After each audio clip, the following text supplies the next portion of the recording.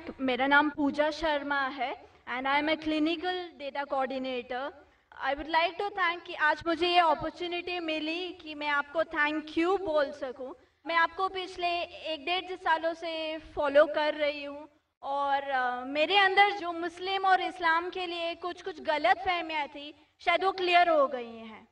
And uh, जैसे आपने कहा आपने कुरान की कई आयतों के बारे में कहा मैं सोचती हूँ क्योंकि गीता हो, कुरान हो, बाइबल हो, कोई भी हो, सब में एक ही बात कॉमन लिखी है कि आप अपने फ़र्ज़ करते जाओ।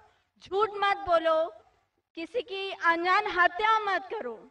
और जो, जैसे कि एक बंदे ने बोला कि रिलीजन की वजह से इतने दंगे फसाद हो रहे हैं।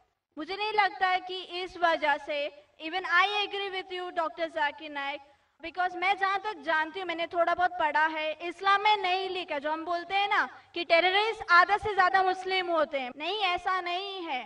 इस्लाम में लिखा है कि जब आप किसी की बेवजह हत्या करते हो कि तो आप शायद मुस्लिम नहीं हो। ये इस्लाम में नहीं लिखा है कि आप किसी की हत्या करो बेंग मुस्लिम आप किसी की हत्या करो या बेंग हिंदू किसी की आप हत्या करो। Would like to thank you doctor Zakir Naik की बहुत सारी कन्फ्यूजन्स थी जो काफ़ी दूर हो गई हैं। थैंक यू जजाकल्ला बहन ने कहा कि वो तकरीबन डेढ़ साल से मैं तकरीर सुन रही है और उन्हें यकीन हो गया है कि अल्हम्दुलिल्लाह इस्लाम एक सही मज़हब है और नफ़रत नहीं सिखाता, किसी का बिना वजह कत्ल नहीं करना सिखाता है। और इन मैं दुआ करूँगा अल्लाह सुबहान ताली से, बहन, कि आप इन कुरान मजिद का तर्जुमा पढ़िए। ये इन आपको, आपके रब के और करीब ले आएगा इन और मैं दुआ करता हूँ कि अल्लाह ताला आपको हिदायत दे।